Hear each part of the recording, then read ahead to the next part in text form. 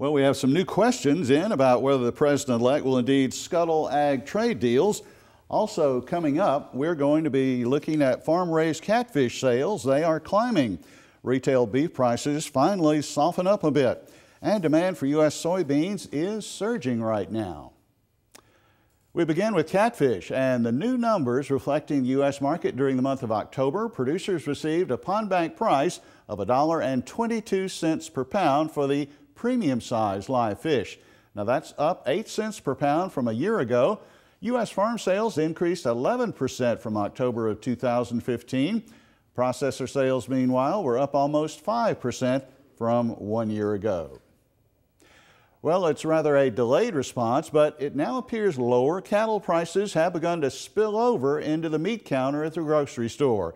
Analyst Derrell Peel explains what it means for the cattle market. As we go forward, we expect to see demand uh, kick in as prices adjust down at the retail level and so on. And so, really, uh, and given that we find ourselves today, again, I think a little lower than we ever really had to be, I think, you know, for the next several months, we're talking about more of a sideways kind of a market than anything. We'll look for some seasonal patterns, some, some, some strength in the spring markets uh, seasonally, and probably some seasonal pressure, you know, a year from now as we get into the fall markets next year, recognizing that we're going to be in a, in a, a larger supply situation. And larger supplies are definitely building over in the hog market. The USDA has now bumped up its production forecast by another 3 percent. Trader Elaine Kub says the abundance will depress prices for sure. Stable and cheap and, and will, you know, able to, to spur demand not only here but internationally. So we can say that about these prices that they're cheap. Uh, so, so and, and you look at the at the the contracts going, the deferred contracts going out, and there is some expectation to see a $60 level or a $70 level again sometime in 2017. But I don't know that we're ever going to get there because you talk about the slaughter pace. This is all they can do. You know, 2.45 million head a week. That's literally about as much as they can possibly do. So how can you expect the Packers to be motivated to pay more than the current prices? I think there's very limited reason to get bullish when there's just not the capacity to slaughter any more hogs. Well, it's time for today's trivia quiz. This time of year, many folks have the misfortune to hit a deer with their car or truck while driving. This brings us to our quiz question. How does Mississippi rank nationally as far as the number of auto deer collisions that happen in the state? Is Mississippi number one, number three, number 10, or number 13? We'll have that answer coming up for you. Chinese demand for U.S. soybeans is getting most of the credit now for pushing bean prices higher this fall. But tight supplies in South America are also reportedly helping boost this market. One Midwest bean marketer put it this way We are about the only store in town right now, and the world market is very hungry for even more soybeans.